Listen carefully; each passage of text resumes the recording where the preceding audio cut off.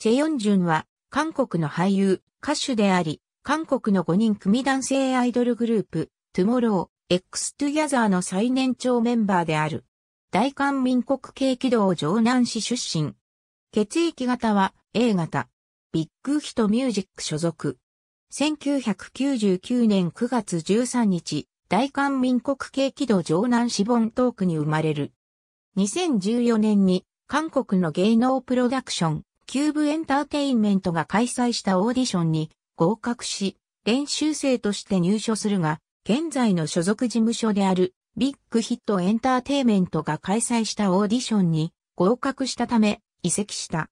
オーディションでの歌唱曲は BTS の Boy In Luv。 Big Hit Entertainment 練習生の頃は月末テストのダンス、ボーカル、ラップのカテゴリーで常に1位を獲得していた。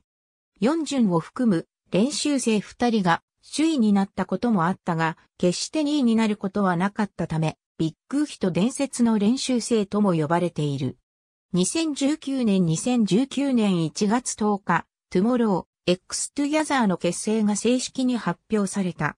翌日、個人 Introduction Film が YouTube で公開され、ヨンジュンはグループで最初に公開されたメンバーとなった。3月4日、 The Dream Chapter: Star をリリースし、正式にデビューした。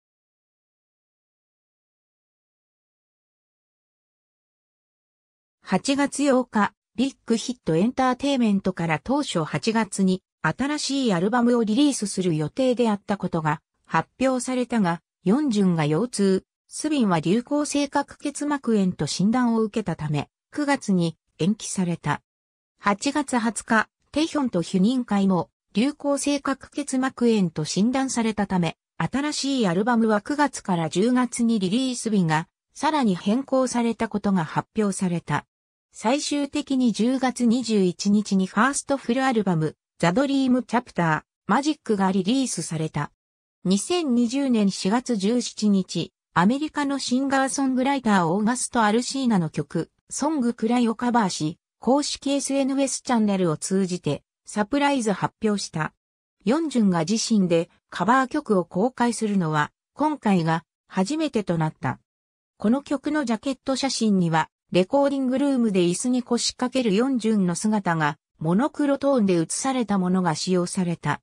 5月18日にセカンドミニアルバム、 The Dream Chapter: Eternity がリリースされ、収録曲、 Fairy of Shampoo のラップメイキングに、ヨンジュンが参加した。メイズ・イン・ザ・ミラーでは、メンバー全員が共同で作詞、作曲に参加した。2021年1月12日、JTBC で放送されたライブ ON の最終回にキムジヌ役としてサプライズ登場した。2月17日、韓国のデザイナーブランド、ウル、金のモデルとして 2021F、W ニューヨークファッションウィークに参加した。世界的なコロナ禍のため、ショーはオンラインによってアンタクトで行われた。ありがとうございます。